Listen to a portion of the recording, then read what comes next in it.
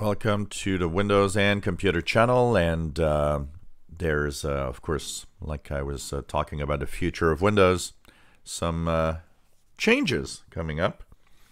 So, what is expected now? Because some of you asked some question about this. Is that um, the um, advanced way of getting Windows 10, meaning that every version is now pushed a little closer what does that mean? So, for those asking, once again, November 12th is the official release of the November 2019 update. And it would seem that for consumers, we might have the next version of Windows before January. That means that things are pushed to a faster release. Uh, although next year, one of the things going to happen is Windows 10X.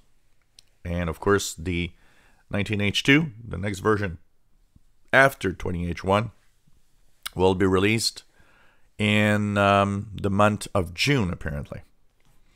So that would mean that we would have still two versions of Windows before the end of the year. This one is a big one. It's not like 19H2 November 2019 update is a cumulative update.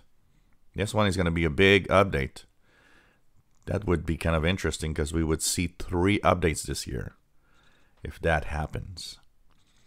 So that also means that we will be getting, um, insiders will be getting that before. Uh, and it's interesting that they would keep, you know, 20H1 as the name, but it would still be the first version of Windows 10 available in 2020. Once again, I have the impression that this goes with the fact that Windows 7 is going to be officially uh, retired for consumers on January 14th, 2020. So apart from that, of course, we know that 19, uh, 20H2 is a thing. We know that we will have a second version of Windows, but we'll have also Windows 10X.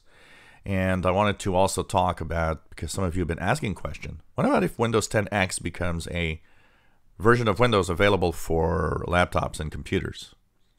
Wouldn't that be a danger to Windows 10 in general? Well, that's uh, that's a good question because it's something I did think of. If you have Windows 10X, if it can run regular, because what we know is apparently runs regular uh, Win32 apps, meaning your favorite program should technically run in it. It also is a simpler Windows it as seamless background updates.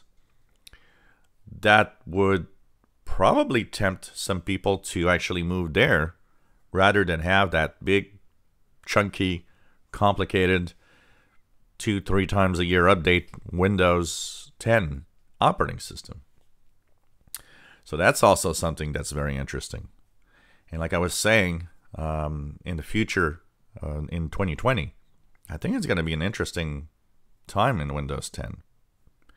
A lot of you have been asking me because you've uh, seen my video a couple of weeks back talking about how Windows isn't very important anymore to Microsoft, but it still is. And some of you have been, you know, asking me, well, do you see that Microsoft could, you know, stop making Windows? Not in a near future, that's for sure. Windows is still uh, important, and I mean, especially in enterprise, it's still a big big deal. And, and you know, the uh, revenues of Microsoft this week were actually showing that the revenue of Windows 10 is up. And it might have to do partly with the fact that Windows 7 is getting to its end of life in uh, a couple of months. So, um, you know, there's no foreseeable future of no Windows, but there might be a foreseeable future of a different type of Windows, something that's simpler that updates better. That is just generally a you know better operating system overall. Uh, kind of getting closer to what we see in smartphones. You know, Android updates, uh, iOS updates are more seamless. I mean, you know, I wake up in the morning and I see my phone and it says, oh, um, you know, you got to enter your PIN because there was an update last night.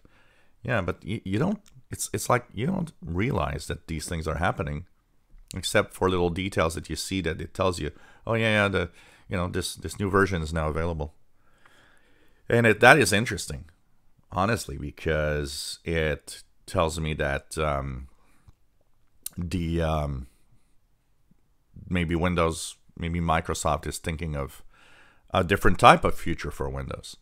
Still Windows, still running Win32 apps, but much less of an annoyance for everybody. Um, we'll keep you up to date to everything. So, if rumors are true, we would be getting. Well, this one is pretty sure. We'll get the November, November 2019 update on November 12th. Uh, if you're on the, or if you want it right now, of course, you can go to the uh, release preview ring and update if you're, uh, if you really want it, and then, of course, opt out with that little switch that says, well, you know, I don't want to have, uh, I want to stay here now. And uh, for those that uh, that that that are wondering, well, we would have uh, you know something like the December 20, 20 2019 update or something uh, sometime around Christmas.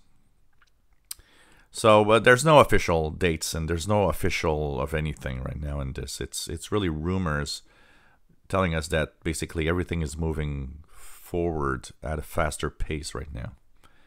So we'll keep you up to date, of course, on the channel here as to what happens. If you enjoy our videos, please subscribe, give us thumbs up. Thanks for watching.